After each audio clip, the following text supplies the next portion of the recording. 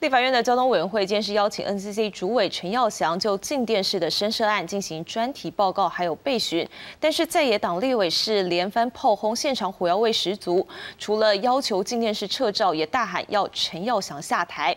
陈耀祥是呼吁各界给 NCC 单纯的空间审查，一定依法定程序来处理。这是真的非常差劲。国民党团再次假动抗议，要求 NCC 主委陈耀祥下台。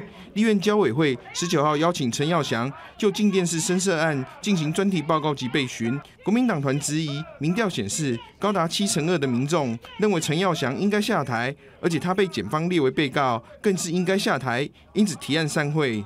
下台，下台，下台，陈耀祥。赶快下台！你假如要下台，这次我们就让你回去吧。如果你们排了主人排了专案报告叫 NCC 主委来，结果主人在这边修理客人，这个算什么？面对国民党团的出招，民进党团则进行护航。实力立委陈嘉华等人则是提案退回 NCC 密件调查报告，要求积极调查。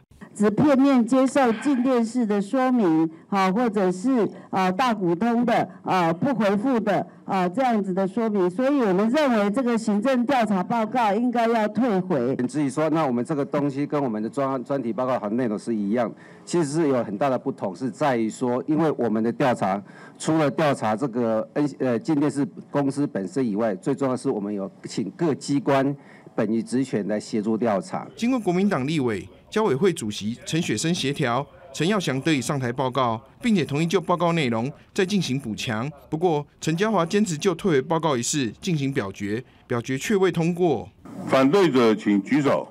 八位嘛哈，八位。好，这个案没有通过啊。期间，葡萄牙议员的访问团还到交委会观摩，一时间剑拔弩张的气氛暂时缓和下来。而委员会表决后通过散会动议，陈耀祥十九号未上台接受备询。记者陈嘉欣、张永佳台报道。